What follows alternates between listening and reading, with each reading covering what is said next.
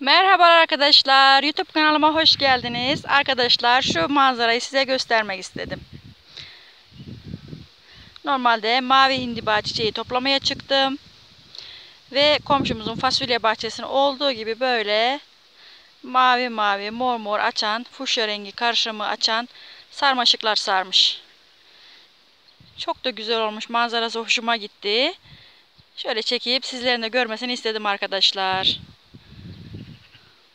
Şöyle daha yakından göstereyim. Çok şekerler. Misler gibi doğa. Arkadaşlar bir de kara hindiba rastladım. Kara hindiba yoldum. Aldım şöyle kökünden aldım. Karaciğer dostu arkadaşlar.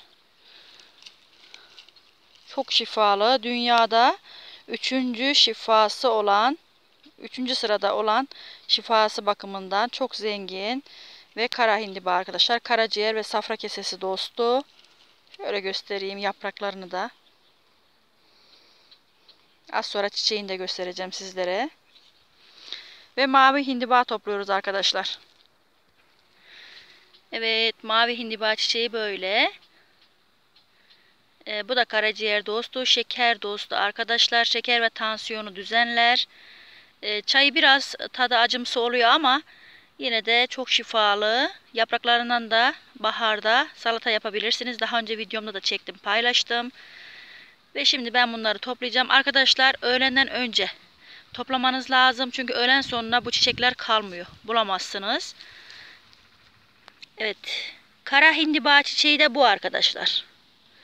Sarı sarı açar böyle. Kara, kara hindiba çiçeği de bu. Çok farklı ikisi de birbirinden.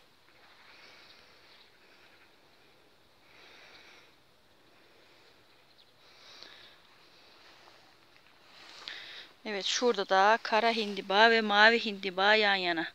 Şunlar kara hindiba yaprakları. Şu gördüklerimiz. Bunlar da mavi hindiba arkadaşlar. İkisi de birbirinden şifalı, birbirinden güzel.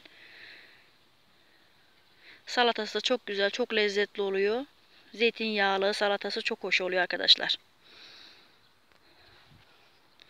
Şu manzarayı bir daha çekeyim arkadaşlar. Çok güzel. Burası elma bahçesi aslında.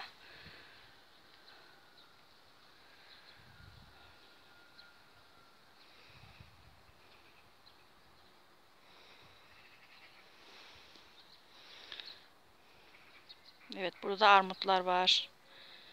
Başında kabaklar var. Kabakların büyüklüğüne bakar mısınız arkadaşlar?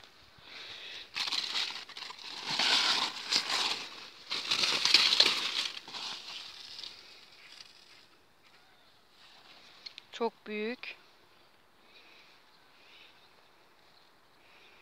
Küçücük ağaç, ağaç olmuş maşallah. Ne güzel de tutmuş. Salatalıklar tohum olmuş. Şurada taze taze açmışlar. Minicik salatalıklar var başında. Burada beyaz kabak olmuş arkadaşlar. Bayağı büyük. Bunlar tohumluk olmuş artık arkadaşlar. Şurada biberler var. Komşum biraz otunu çöpünü geciktirmiş ayıklamaya. Şurada patlıcanlar var, biberler var.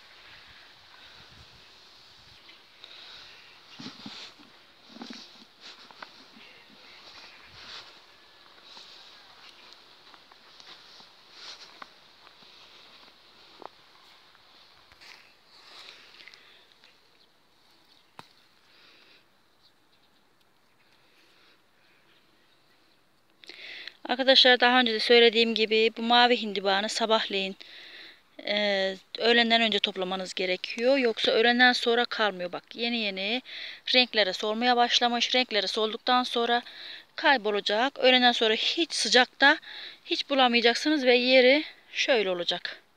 Kurudunca da böyle oluyor arkadaşlar. Ben şimdi bunları toplayacağım. Kurudup e, gölgede kurutacağım. Kuruttuktan sonra böyle oluyor. Hani çok şifalı. Çayını demlemek için kışında olsun.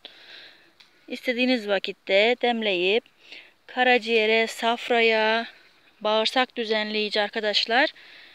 Şifası saymakla bitmez.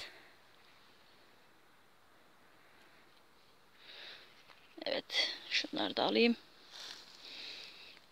Böyle kurutacağız arkadaşlar gölgede.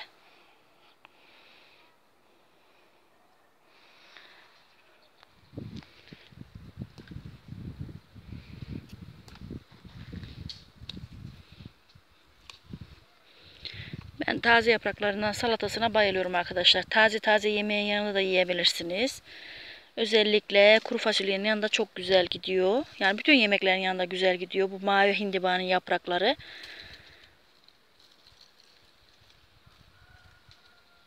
Şöyle alayım.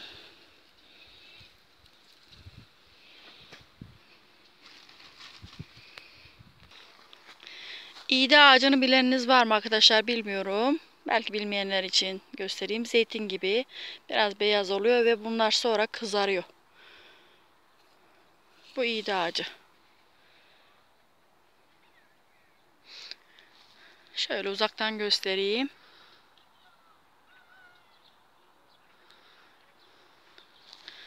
Ve hemen şurada ayva ağacı var. Ayva ağacının da yanında kuşburnu var arkadaşlar. Kuşburnu da toplayacağız. Hem ziyaret hem ticaret hesabı arkadaşlar. Hem kuşburnu topluyoruz. Hem mavi hindiba hem kara hindiba ve hem de gördüğümüz manzarayı çektim. Sizlere de görmesini istedim arkadaşlar.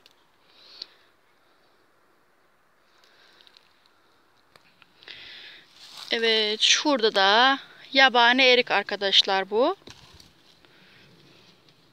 Yabani aşılanmamış erik. Çok güzeller.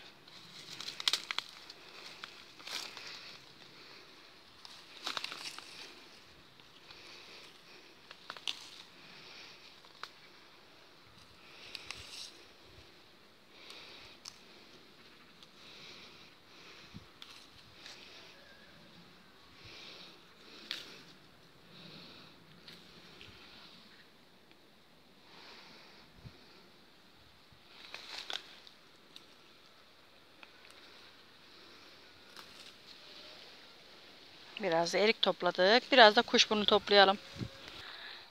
Evet arkadaşlar kuşburnu ağacının yüksekliğini göstermek istedim size. Çok yüksek. Neredeyse söğüt ağacına yarış ediyor arkadaşlar.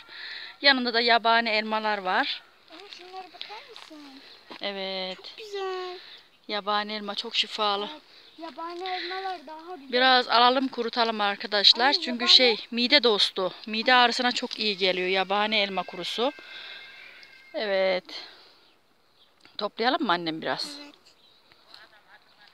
Şöyle manzarayı alttan yukarıya gö- doğru göstereyim arkadaşlar. Çok güzel. Yabani elma çok mayhoş. Ve arkadaşlar bunu doğrayıp kuruttuğunuz zaman kışın yiyin hem bağırsaklarımızı hareket ettirir hem de mide dostu arkadaşlar. Evet arkadaşlar. Efendim kızım.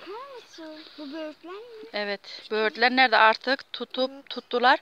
Ee, olgunlaşma mevsimi. Bir günde böğürtlen toplarız inşallah doğadan. Evet arkadaşlar kanalımıza abone olmayı unutmuyoruz. Destekleriniz ve yorumlarınızı bekliyoruz. Biz bu elmadan toplayalım. Biraz da kurutmaya ayıralım arkadaşlar. Allah'a emanet olun. Görüşmek üzere arkadaşlar. Hoşçakalın.